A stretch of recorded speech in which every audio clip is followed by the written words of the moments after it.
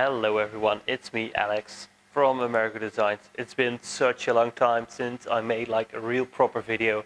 I started a few, never really finished them. Um, it's been really busy. We had a baby, it's very cute, but instead of doing like uh, a shop, shop update once a year where you know stuff doesn't happen or it's, it's weird, I thought I'd take you along with um, the process I did for uh, improving my CNC router.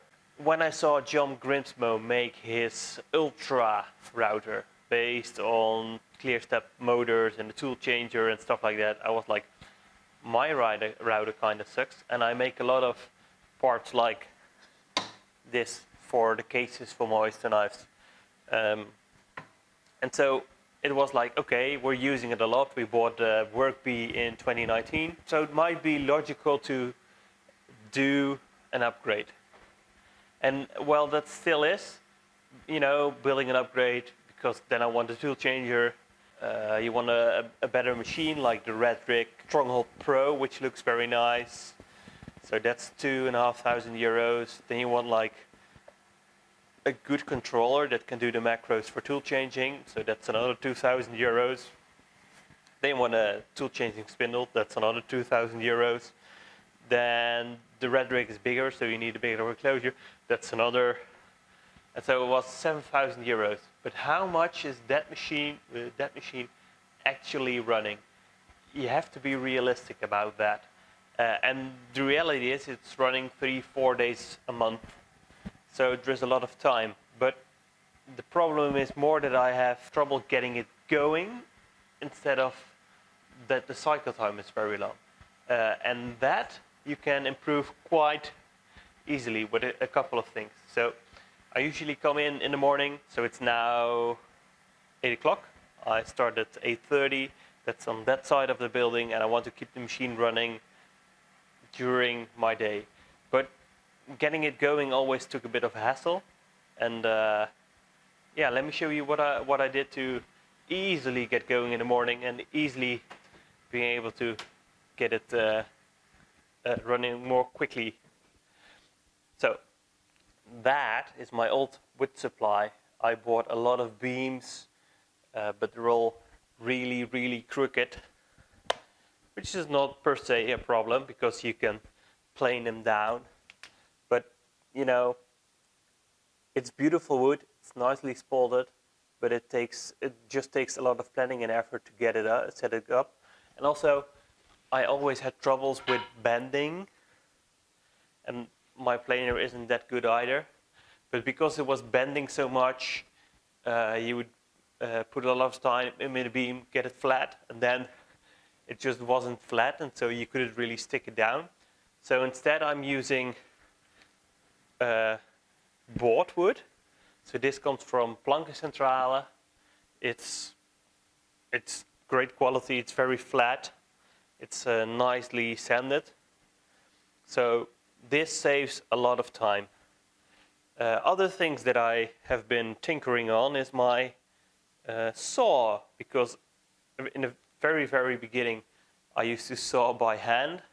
Then I went over to a different saw jigsaw, then I bought this one. But I was always still using these templates to um, do different sizes, and even that cost time, and then you would be marking with a pencil and then cutting. That's just, it wasn't very efficient. So now I have this uh, rail set up. You know, most of my products are uh, 21 uh, centimeters long. So just put it on the arrow and then you're done. Then you always have the correct size. And uh, this came from AliExpress and it was 15 euros or something like that. A euro is a dollar at the moment for uh, my American viewers. So that's really good. Uh, another thing I did was have this block and now I have power for one hour. Uh, and then also rewired everything that my dust collection is in there. And I also made a detachable dust collector with 3D print, of course.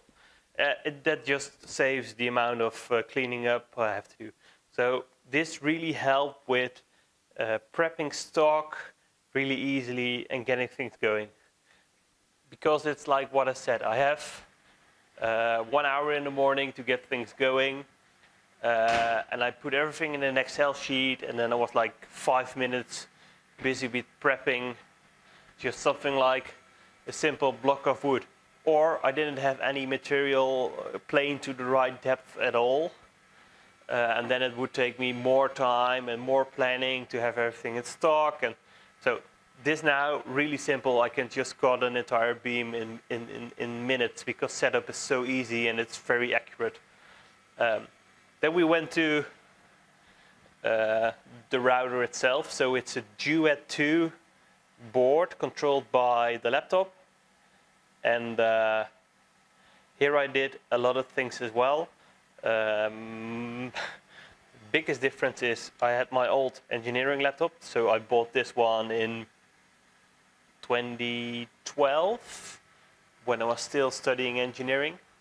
And it had quite decent specs, but it was very, very slow.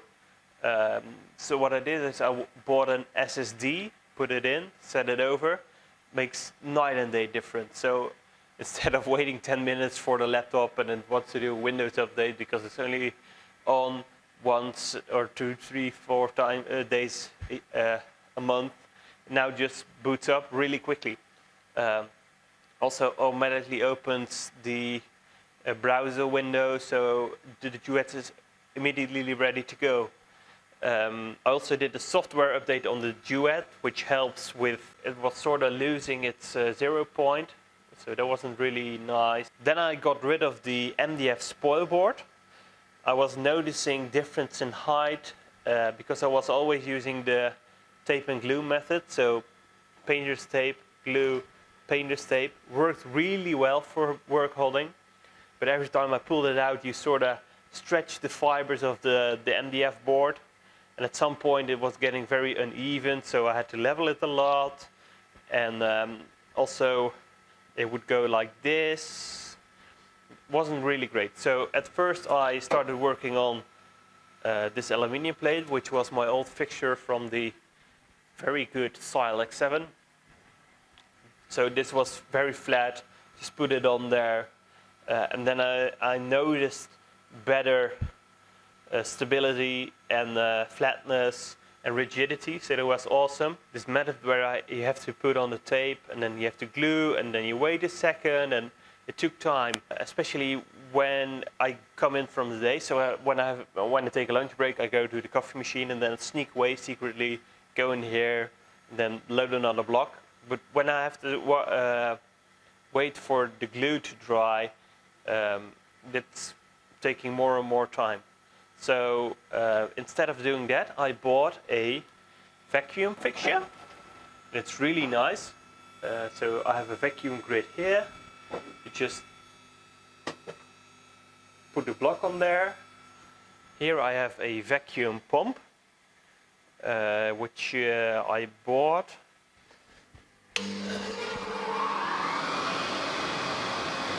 Very noisy, but you take this one out, that one out, and now it's rock solid. Turn that out, and now once again, you have a block. So for work holding, it works the same as the glue and the tape method, only it's instantaneously. Yes, it makes more noise, yes, it takes more power, but it's very, very quick. Uh, and with stuff like this, little upgrades like this, you really drive down the time that you need to uh, get the machine going. Booting is a lot quicker, uh, loading materials a lot quicker, prepping materials a lot quicker. And now I have a machine that I can run within five minutes. And this makes the bottleneck that production was uh, solved because I don't need a faster machine. I just need to run it more often. Uh, and so we keep on tinkering with, uh, with all the improvements and uh, have, some ideas for the future. And then we can always buy a faster machine and just implement everything that we already improved. So there was a quick video uh, of what I have been up to um, in the past few months just to get things going. Because when you have a baby, you don't always leave home at the time you used to leave home. Sometimes when you're ready to go and then you need to do another diaper. I love it, but I also love tinkering in my workshop. So hopefully sooner next time and uh, we'll see you soon. Bye.